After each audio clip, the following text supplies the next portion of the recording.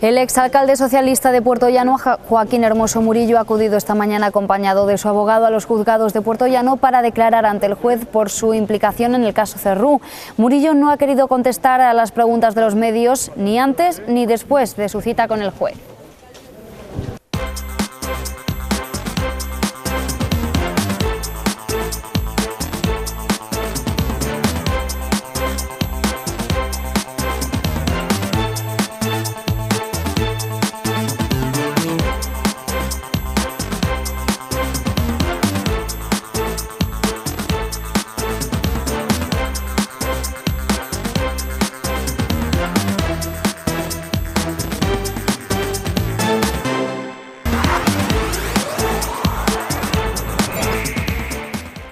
¿Qué tal? ¿Cómo están? Bienvenidos una tarde más a los servicios informativos de Más Televisión. Ya lo saben, como siempre, titulares y comenzamos.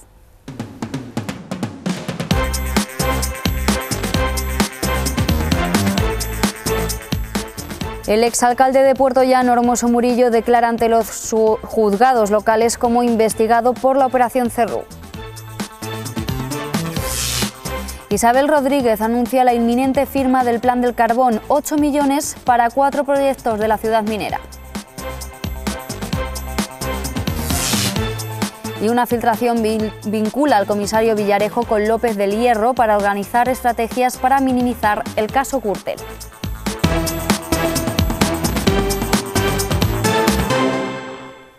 Comenzamos. El que fuera alcalde de Puerto Llano, el socialista Joaquín Hermoso Murillo, estaba llamado a declarar este lunes ante el juzgado de primera instancia instrucción número 3 del municipio en calidad de investigado por el caso Cerrú.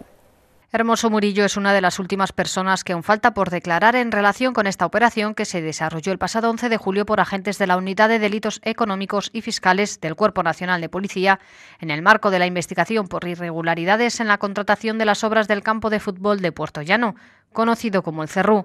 El exalcalde de esta localidad declarará a partir de las 12 del mediodía a puerta cerrada, como lo han hecho todas las personas que en las pasadas semanas fueron llamadas a declarar. Mañana martes tendrá que acudir al juzgado el aparejador municipal Eugenio Ángel Manso. En días pasados, otros investigados ya declararon ante la jueza que lleva el caso, como el exsecretario del ayuntamiento Juan Luis Vázquez, el que fuera primer teniente de alcalde y concejal de urbanismo Antonio Rodríguez, los también exconcejales Rafael Sánchez y Luis Pizarro, el arquitecto Carlos Fernández de Castro o el interventor accidental Javier Barquilla. Tras tomar declaración a todos los investigados, la jueza que lleva el caso decidirá si imputa o no a alguno o todos los posibles delitos que se recogen en las diligencias previas y que son los de prevaricación administrativa, tráfico de influencias, cohecho, fraude, malversación de caudales públicos, falsedad procedimental y blanqueo de capitales. Recordar que la operación Cerrú se saldó con al menos 11 detenidos y 17 investigados, así como varios registros en diferentes domicilios y oficinas. Los detenidos quedaron en libertad a la espera de prestar declaración en el juzgado. Esta mañana a las 12 el exalcalde socialista Joaquín Hermoso Murillo es cuando se ha presentado junto con su abogado en los juzgados de Puerto Llano para declarar por el caso Cerrú. No ha querido hacer ningún tipo de declaración y la diputada nacional del Partido Socialista por la provincia de Ciudad Real, Isabel Rodríguez, tampoco ha querido entrar a valorar este asunto. Los políticos estamos para trabajar, no para juzgar, ha dicho. Vamos a escucharlo. Mire, no se puede judicializar la vida política. Y como le digo, mi responsabilidad como secretaria general del Partido Socialista es trabajar por el futuro de esta ciudad. Y trabajar por el futuro de esta ciudad es estar pendiente de las inversiones que podemos traer a Puerto Llano, de los planes eh, del carbón. Es trabajar por el impulso de nuevas industrias que puedan venir a instalarse en nuestra ciudad. Es mirar cada día a los hombres y mujeres de Puerto Llano y pensar qué podemos hacer para que cada día vivan mejor. Y eso es en lo que estamos centrados en el Partido Socialista. Los abogados, los procuradores y los jueces que se dediquen a hacer su trabajo. Pero nosotros, los políticos, a lo que nos dedicamos es hacer política. Y nuestra responsabilidad hoy es mirar por el futuro de Puerto Llano y trabajar por él. La secretaria general del Partido Socialista en Puerto Llano y diputada nacional por la provincia de Ciudad Real, Isabel Rodríguez, ha hecho también un balance positivo de la influencia de los 100 días del gobierno socialista de Pedro Sánchez en la ciudad minera.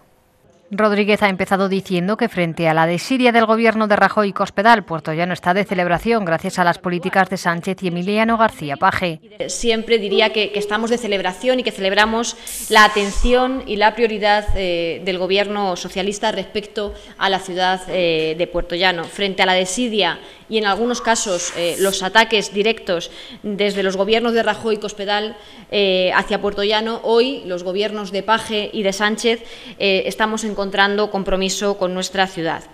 Son muchos los ejemplos que podría enumerarles respecto a esa política que mantuvo el Partido Popular contra los intereses de Puerto Llano, contra los intereses de nuestra industria, de la ciudadanía, en definitiva contra los intereses de la ciudad de Puerto Llano y, por contra, cómo se aprecia ya un cambio positivo en esa relación del Gobierno de España con eh, Puerto Llano. Un cambio positivo que se ha manifestado en dos corrientes, por un lado en la política energética y por otro en infraestructuras. Uno el que tiene que ver con la política energética y ello repercute directamente en la política industrial y el segundo el que tiene que ver con la infraestructura, que sin duda es también base para sostener el desarrollo en nuestro futuro.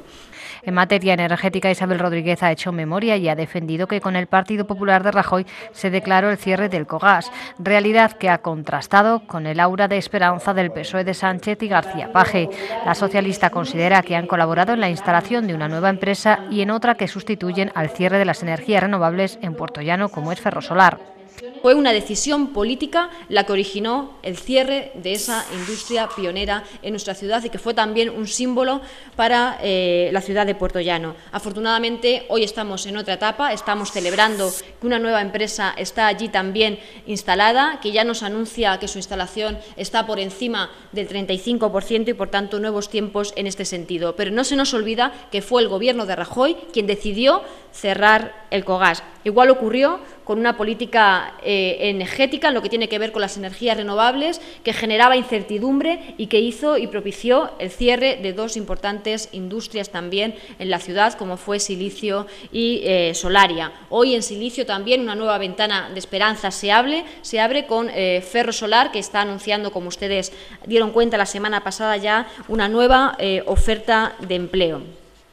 Y en este sentido, en la política energética hay sin duda una noticia importante que se produjo hace apenas cinco días con ese nuevo acuerdo Isabel Rodríguez ha hecho especial mención a la inminente firma del acuerdo marco del Plan del Carbón, que traerá una inversión de 250 millones de euros. Ocho de ellos irán para Puerto Llano para desarrollar cuatro proyectos, con los que se pretende mejorar los polígonos de la Nava y el SEPES y el carril bici.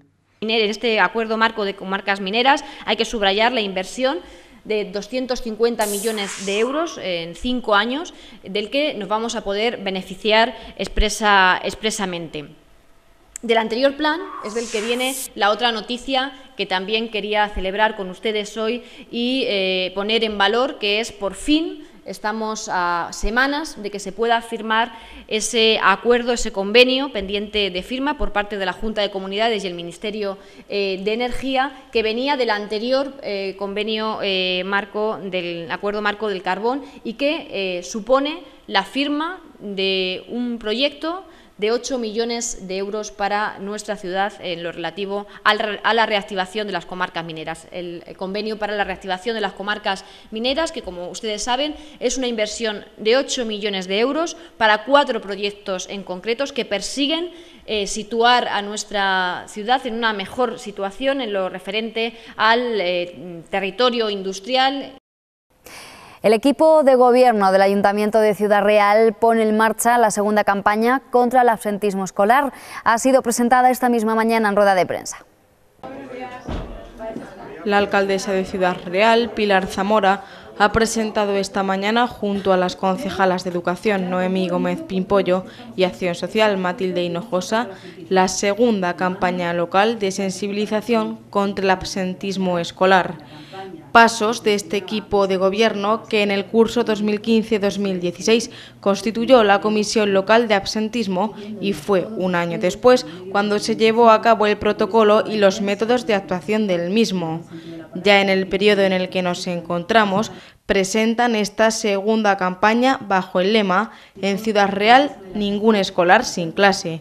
Una campaña en la que la primera edil hace un llamamiento a los vecinos de la capital para que entre todos ayudemos a la lucha contra el absentismo escolar. Pero si me permiten, para mí lo importante o quizá la novedad de este año en este bando es pedirle a las vecinas y vecinos de Ciudad Real que nos ayuden, que si ven algún niño entre 6 y 16 años, lo comuniquen.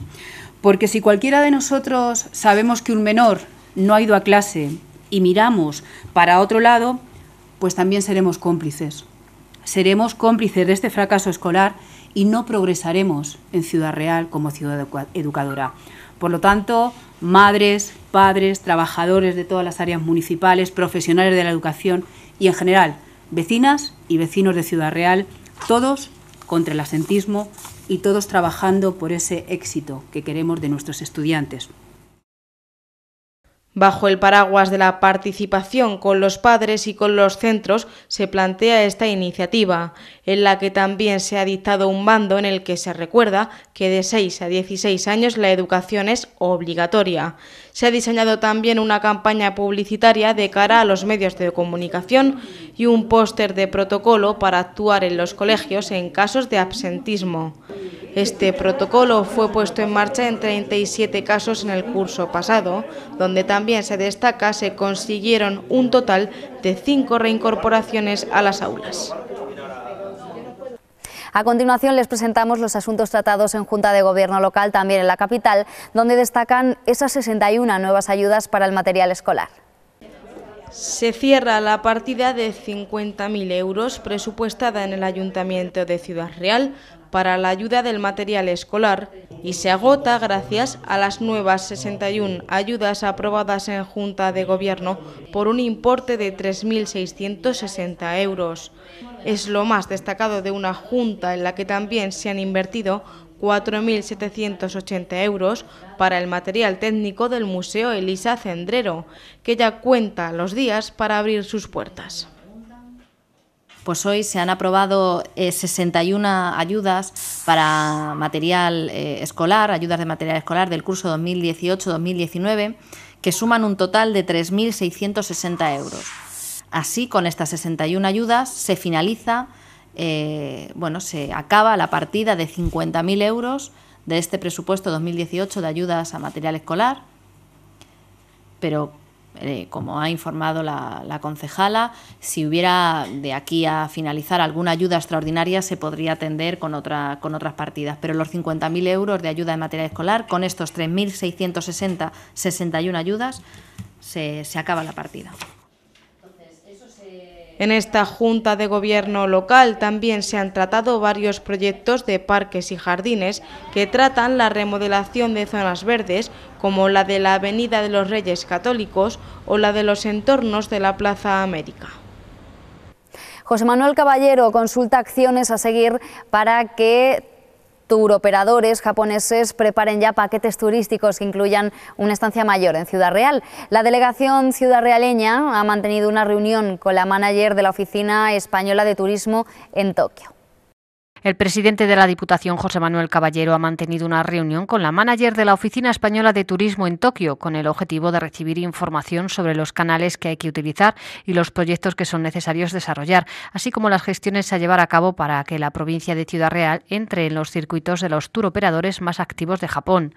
La responsable ha puesto de manifiesto el gran interés que expresan en Japón por el Quijote y por los lugares que inspiraron a Miguel de Cervantes localizados en La Mancha, aunque también por los espacios naturales y por las genuinas y diferentes, y ha añadido que prefieren ir organizados porque tienen problemas con el idioma, que agradecen la seguridad y sobre todo los servicios que ofrece un tour operador cuando viajan. La manager ha añadido que la estancia media del turista japonés en España es de ocho días y que prefieren volar a Barcelona y a Madrid, desde donde van a Toledo y a conocer los paisajes del Quijote, sobre todo los molinos de viento de Campo de Criptana. Una nueva tendencia es experimentar cosas nuevas y conocer costumbres del lugar que visitan realizando actividades concretas como pueden ser la vendimia, la elaboración de queso manchego y de vino, una molienda en un molino de viento o una matanza. Una filtración vincula al comisario José Manuel Villarejo con Ignacio López del Hierro. El marido de María Dolores de Cospedal organizó y planificó estrategias, según la información, para minimizar el impacto del caso Gürtel. Les ofrecemos el siguiente vídeo. El comisario de policía José Manuel Villarejo estuvo muy vinculado al Partido Popular durante la instrucción del caso Gürtel, según denuncia el diario digital lamoncloa.com y así recogemos. Su enlace principal con el PP era Ignacio López del Hierro, marido de María Dolores de Cospedal, entonces secretaria general de los Populares. Villarejo informó al PP por medio de López del Hierro de movimientos policiales, escuchas e incluso planificó conjuntamente estrategias para minimizar daños en la instrucción de este grave caso de corrupción, según la información difundida por el diario. A la vez, formaba parte del núcleo duro de investigadores policiales y ayudaba al juez Baltasar Garzón. Sí. ¿Qué pasa, niño? perdona que estaba antes en una reunión y no... Dime. Sí, no, es que, es que me preguntaba nuestra amiga. Sí. Dice, oye, mira a ver si tu amigo sabe por dónde van a ir estos. Bueno, eso es, eso es una pregunta como si Dios existe, o sea, es de, amplio contenido. Sí. el lunes cuando nos veamos y desayunemos comentamos. ¿eh? ¿Tú, crees que van a más con eh, sí, sí, sí, porque hay chicha, hay mucha chicha. ¿eh? Mucha más de la que él se cree. Él piensa que tiene controlado y justificado lo, suyo aquí dentro, porque esto lo conseguí de aquí, esto aquí. Él tiene hecho cuatro números y tal, porque piensa que le cuadran, pero hay mucho dato fuera, hay muchas cosas que están, ¿no? Eh, hay mucha chicha. Entonces, yo te digo, estaba en una buena línea, estaba en tal, pero ahora hay que volver otra vez a dedicarle otro mes a comerle el tarro al pavo para decirle que no es tan borde como se ha presentado. Oye, ¿tú crees que el juez le imputa? Eh, yo creo que sí. ¿Tú crees que sí? Yo creo que con lo que hay, como el Supremo acepte el tema, si lo acepta va para adelante, ¿eh? Sí. Si lo acepta va para adelante porque hay chicha para eso. Bueno, bueno. Bueno, pues... Eso es lo que hay. El, lunes lunes estamos cafelitos. Venga, oye, que, que, eh, ¿ya ha terminado el tema o todavía está en proceso? Ahora está, ya está acabando, pero vamos, bien. Bien todo, ¿no? Bien, todo bien. Pues eso es lo importante, lo demás que le den por culo. Venga, un abrazo. Así es, un abrazo. Moncloa.com ha tenido ahora acceso a las grabaciones de los encuentros entre López del Hierro y Villarejo desde junio a noviembre del 2009.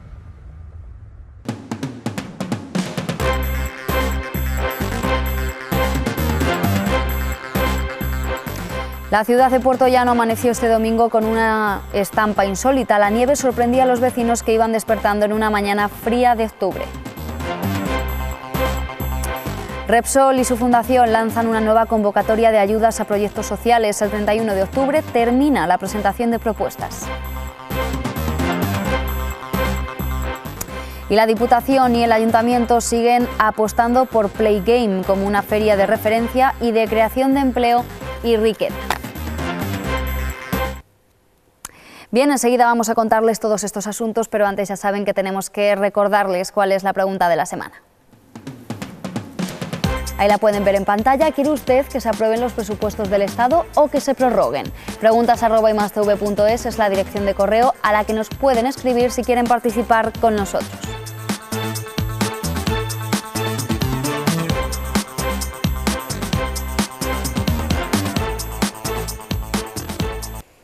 La ciudad de Puerto Llano amaneció este domingo con una estampa insólita. La nieve sorprendía a los vecinos que iban despertando en una mañana fría de octubre.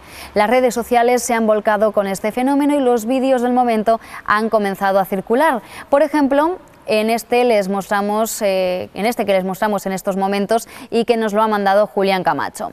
También tenemos que agradecer a Francisco José, un célebre tuitero y seguidor de esta casa, quien nos aporta estas dos grabaciones. Puerto Llano, nevado un 28 de octubre, ¿quién se lo podría imaginar?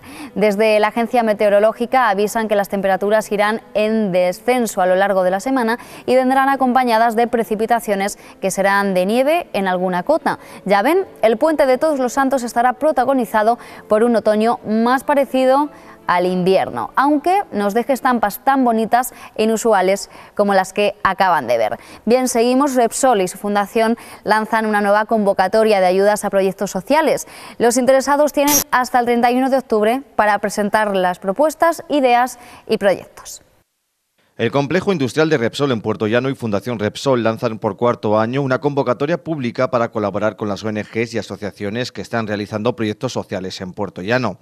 Una iniciativa dirigida a mejorar la calidad de vida de colectivos vulnerables, fomentar la integración social y atender las necesidades de colectivos específicos. Podrán concurrir a esta convocatoria proyectos que favorezcan la promoción y desarrollo integral de las personas en situación de pobreza y vulnerabilidad, favoreciendo la igualdad de oportunidades y la inserción social, promoción del desarrollo social y educativo de niños y jóvenes de familias en situación de pobreza y proyectos de apoyo escolar para estos colectivos de ocio infantil, atención a necesidades básicas o promoción de hábitos saludables y mejora en la calidad de vida.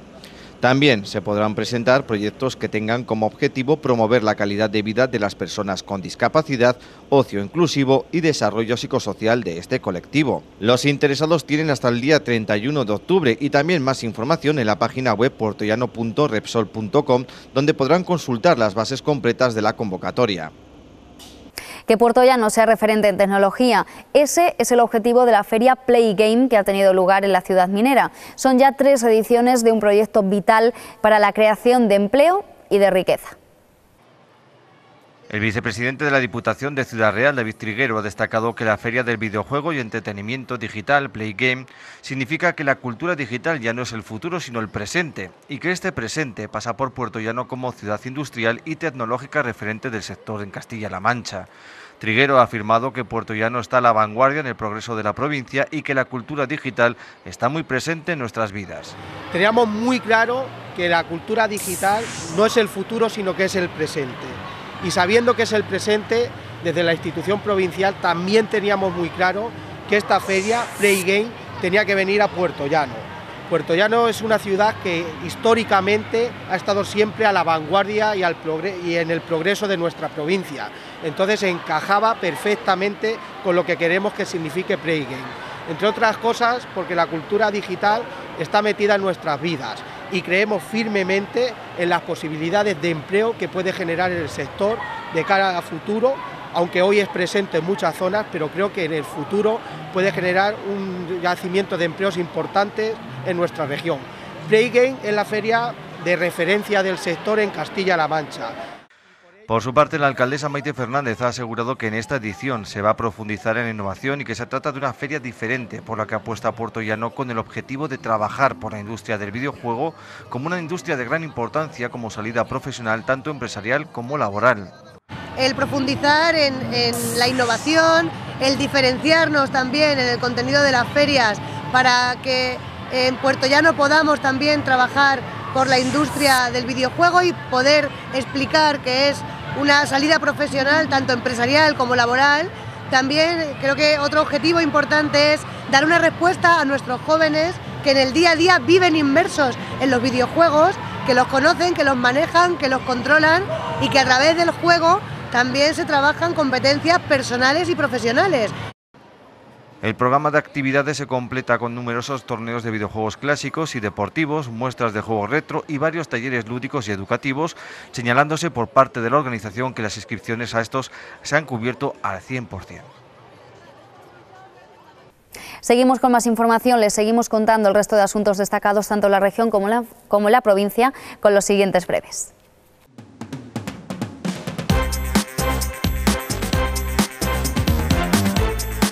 La Guardia Civil aprende 6.500 cajetillas de tabaco en la autovía de Andalucía. La intervención se llevó a cabo en el término municipal de Almuradiel, donde efectivos de la Unidad de Seguridad Ciudadana de la Guardia Civil de Ciudad Real realizaban un dispositivo operativo amparado en la Ley de Protección de Seguridad Ciudadana en la autovía 4 Dirección Madrid. En una de las identificaciones se detectó a una persona de 51 años de edad que portaba en el maletero de su vehículo 6.500 cajetillas.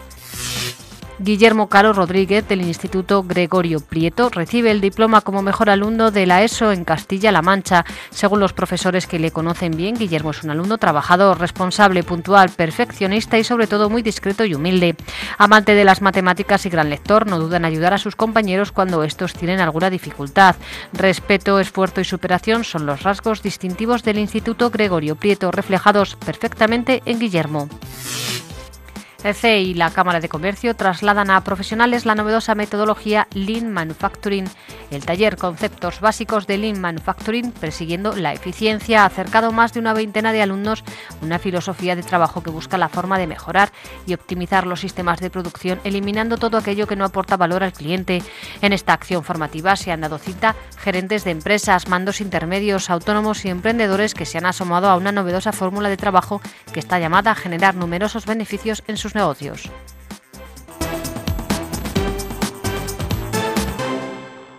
Y como siempre, terminamos mostrándoles quién nos ha enviado la foto del día. Antonio Garrido nos ha enviado esta imagen, primeros copos de nieve en la provincia, fotos es la dirección de correo a la que ustedes también nos pueden enviar sus imágenes como hoy ha hecho Antonio.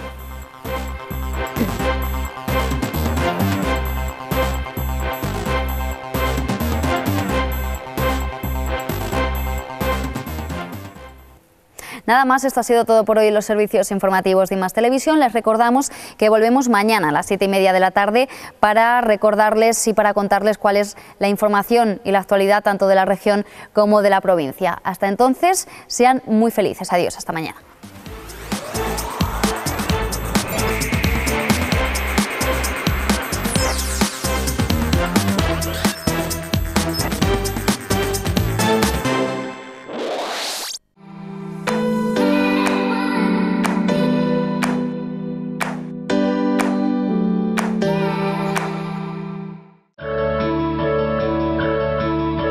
Repsol te ofrece el tiempo.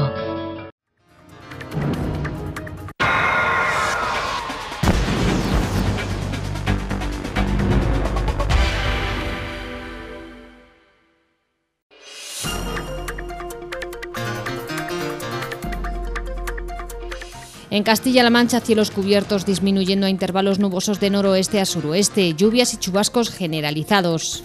En Ciudad Real, cielos cubiertos con lluvias y chubascos débiles y dispersos que se generalizarán por la tarde. Temperaturas en descenso, más acusado en las máximas. En Puerto Llano nuboso con precipitaciones generalizadas. Las temperaturas experimentarán un significativo descenso. En Tomelloso, cielos nubosos o cubiertos con lluvias y chubascos que se intensificarán por la tarde, vientos flojos variables, descenso de las temperaturas.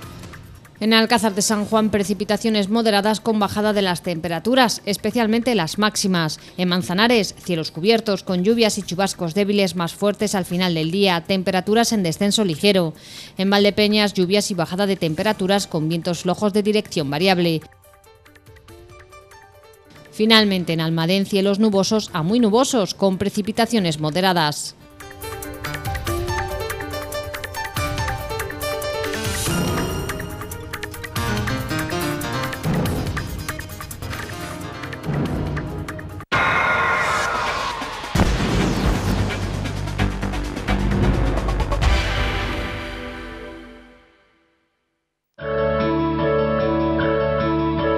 Repsol te ha ofrecido el tiempo.